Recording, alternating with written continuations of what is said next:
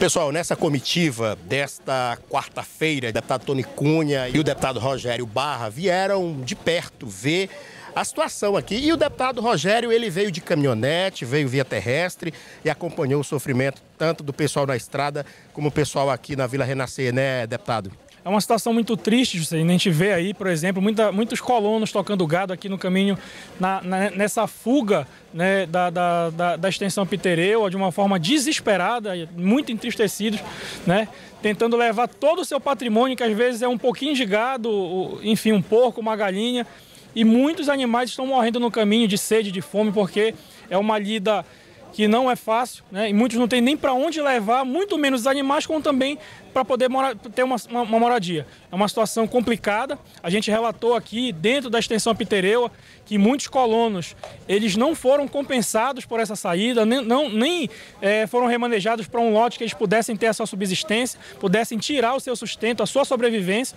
assim como também aqueles outros de médio porte não tiveram a indenização de suas terras. Isso é uma condicionante que o próprio Ministério Público Federal, para que houvesse essa operação de desintrusão pelo governo federal, então a gente vai relatar isso como membro da comissão externa de acompanhamento aqui da operação de desintrusão, nosso requerimento que foi aprovado na LEPA, viemos aqui em nome dessa comissão e nós vamos acompanhar e relatar, principalmente relatando todo esse depoimento que a gente vem é, coletando aqui com os colonos para aprofundar essa legitimidade deles e caso seja justificada, né, a gente vai procurar levar esse relatório para todas as instituições para que haja compensação, que isso é o mínimo e o mais justo para que eles tenham uma compensação, uma indenização ou um remanejamento é, para tudo que está acontecendo com ele. A gente vê aqui um grande índice de depressão, tivemos relato aqui de até de suicídio, né? Que é o caso ali do, do, do, do, do colono que se suicidou. Então é uma situação que nos comove como ser humano e eu espero que as instituições também tenham essa sensibilidade para os direitos humanos de todos aqueles colonos que estão aqui na extensão Pitereu.